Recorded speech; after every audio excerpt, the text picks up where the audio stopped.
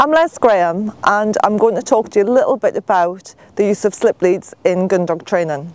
The slip lead is the gun dog trainer's preferred piece of equipment for training a dog on. Uh, it's so named because it's easy to slip on and slip off. It's generally made of rope and has a, a, little stop on it so you can slide it close to the dog's neck so that the dog um, doesn't run through it or get, it doesn't slide off the dog's neck. What seems to be the fashion at the minute in the Gundog community is to change the slip lead into a figure of eight head collar and I'm going to show you how it's done. It's really not a good idea to use a piece of rope around your dog's face. It's turned um, by making the neck part of the slip long and then you twist it over and pop it over the dog's nose. Now the dogs absolutely hate this.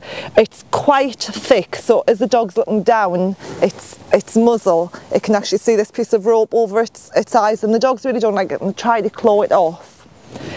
It's not designed to be worn like this and so what happens is you end up with this big piece of rope underneath the dog's um, jawbone where it can rub and cause friction. Also because it's not designed this way, when you use it, if you use it properly, as a proper figure of eight, which means lifting it up, um, it starts slipping around. You can see this has moved and gone in the wrong position immediately. And my dog's really not very happy wearing it. So let's take it off and start again. Let's slip it up. Good boy, Siggy. Clever lad. As you make a correction with it, if you use the figure eight properly, you should lift it up and that stops the dog from moving forward and it calms the energy down because the dog has to sit up because its head's come up. Everything calms down and then you can continue with your walk. But it's only really used for dogs that are lunging.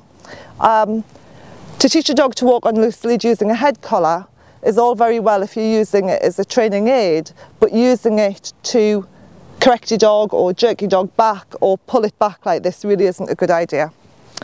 The rope, because it is rope, will cause friction burns over time, especially if you've got a stretchy rope because as you correct the dog, the rope will, will stretch but then it won't release. So you've got this friction almost like a Chinese burn going on your dog's face. The other thing is it does ride up into the corner of the dog's eyes and bearing in mind that your tears will drain into your nose it's not the best thing in the world for a dog. If ever you've worn eyeliner and then got tearful, you'll see that what comes out of your nose is normally the same colour as the eyeliner or the makeup you're wearing. And that just shows that the tears are draining into the nose. And a dog's world is actually defined by its nose. The last thing we want to do is block it up with excess moisture.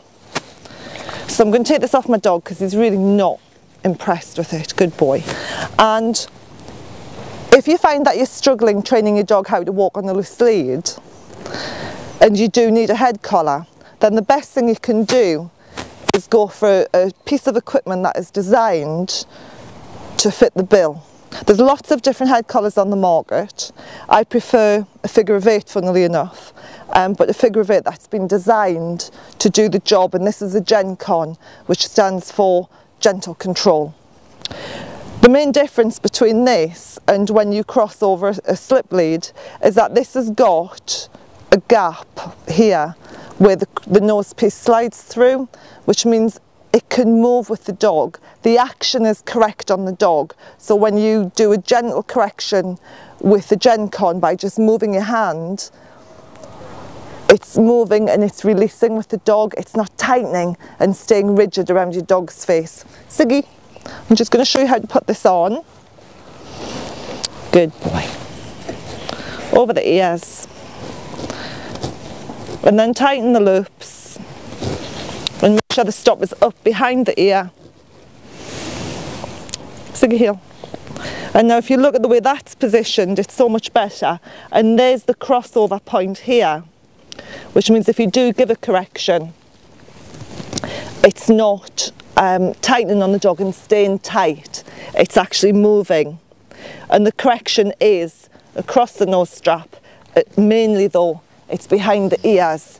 When you use a slip as a figure of eight, it just twists twists the face around and it pulls tight behind the ears, it's not a great correction.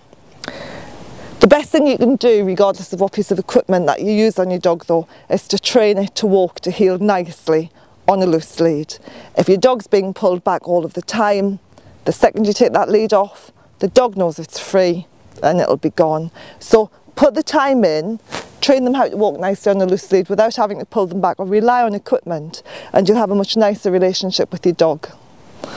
Good boy, Siggy.